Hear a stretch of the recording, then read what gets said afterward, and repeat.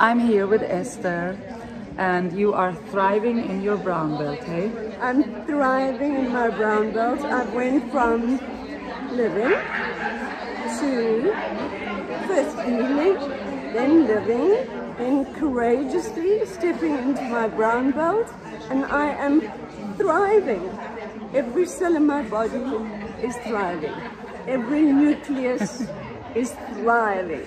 And I'm filled with joy, and I feel as if I've shed a skin, like a snake skin, and I'm a new person that has turned a page to a new book that I can't wait to live.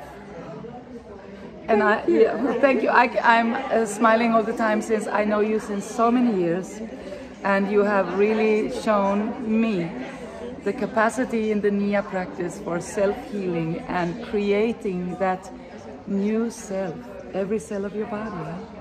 Every cell of my body, I have to say, I lay in hospital and I used to think, I am going to be doing my brown belt with Ann Christiansen. And I said it over and over and over again. And in December, no one thought I could.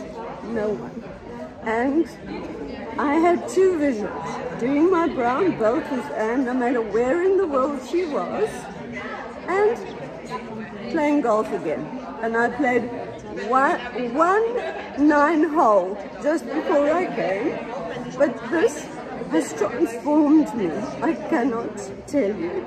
And I've known Ann since 2005 which is a long time, and she has seen me through many, many, many healings.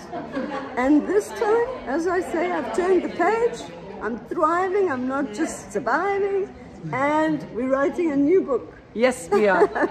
new Thank Black you, Esther. Thank you. Yeah, keep your dream alive, that's the message, and come and dance with us. Love and joy.